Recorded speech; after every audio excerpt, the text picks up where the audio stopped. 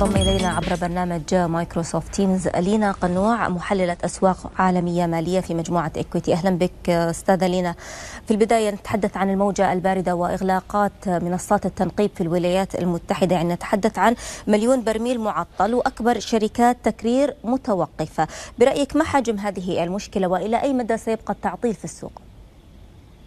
نعم أهلا بك. بالنسبة لأسعار النفط ارتفعت إلى أعلى مستوياتها في 13 شهرا وحتى برنت اقترب من مستويات 63 والخام الأمريكي الخفيف أيضا اقترب من 60 ربما عم نتداول دون ال 60 الآن. لكن هذه بسبب الموجة الباردة التي ضربت أجزاء من الولايات المتحدة الأمريكية وخاصة في الخليج الأمريكي ونخص بتكساس لأن هي تحتوي على أكبر الحقول النفطية ربما ثلاثة آلاف حقل نفطي فبالتالي هذه يعني وكما ذكرتي أنه هذا أدى إلى تعطل الإنتاج بمقدار مليون برميل يوميا. ربما هذه الموجة الباردة أو العواصف ربما تشتد وتصل إلى ثلاثة أسابيع. فأتوقع أن وأيضا بالإضافة إلى ذلك يعني الطاقة كلها نتيجة موجة الصقيع أيضا في انقطاعات في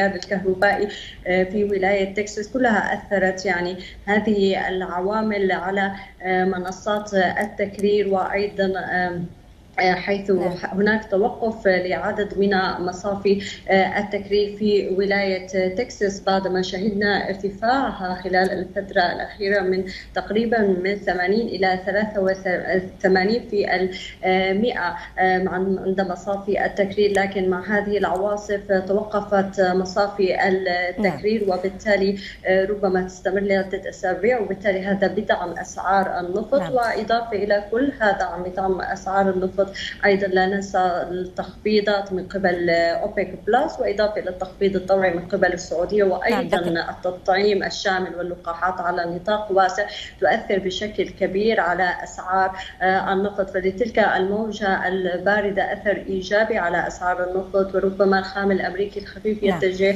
إلى مستويات ال 65 دولار على الفترة القصيرة القريبة نتيجة هذه التي سوف نعم أستاذة دينا. الإنتاج. نعم على ذكر الولايات المتحدة ماذا تتابعون اليوم من الولايات المتحدة؟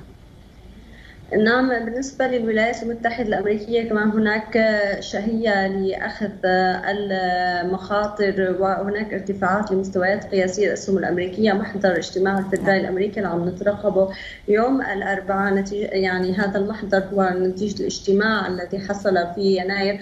هناك يعني حديث حول سيكون هل التفاؤل حول التعافي الاقتصادي سوف يقلص من مكاسب حزم التحفيز وهل سيكون هناك تمرير لحزمة التحفيز التي أقرها بايدن نعم. خاصة آه. وسيتم تمريرها من قبل الجمهوريين وأيضا نعم. نعم.